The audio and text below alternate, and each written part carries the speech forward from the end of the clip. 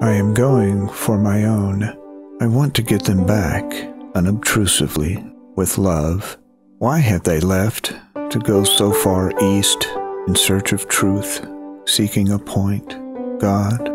They were driven by thirst for spiritual mysticism they have not acquired in their native orthodoxy. This practice of noetic prayer leads us to a connection, union with God, to the theosis of our nature, something we were created for, the connection of our created nature with the energy of God. He is the source of life, meaning, and inspiration to think, teach, and live like this, you are to stop being Homo sapiens, man that thinks, and to become Homo divinus, a man that is divine, and not any other way.